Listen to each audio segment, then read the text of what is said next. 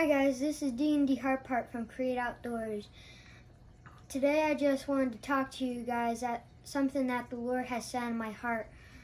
I want to do devotionals because I decided to make my own devotional thing called Created for Kids.